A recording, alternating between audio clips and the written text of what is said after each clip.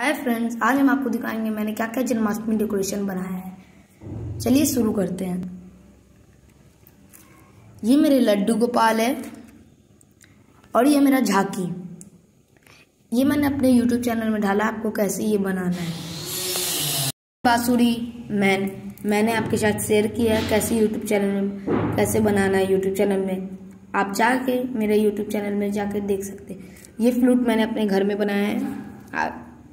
ये मैंने आपके साथ शेयर नहीं किया है। बस पेपर रोल करके लैस लगा के, यहाँ एक फ्लार लगा के, और यहाँ ये मोड़ पंख ऐसे झुका सक, झुका दीजिए। माखन मटकी है, मैंने ये आपके साथ यूट्यूब चैनल में शेयर किया कैसे कैसे बनाना है ये माखन मटकी।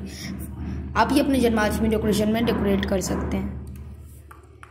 ये झूला, ये मैंने आपके साथ शेयर नहीं किया है, ये कैसे बनाना है। इसमें मैं अपने लड्डू गोपाल को बैठा के दिखाता हूँ आपको।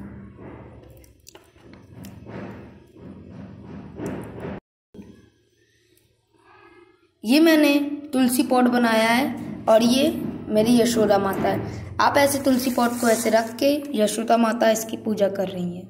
Okay bye friends please like this video please this like this video and subscribe my YouTube channel and comment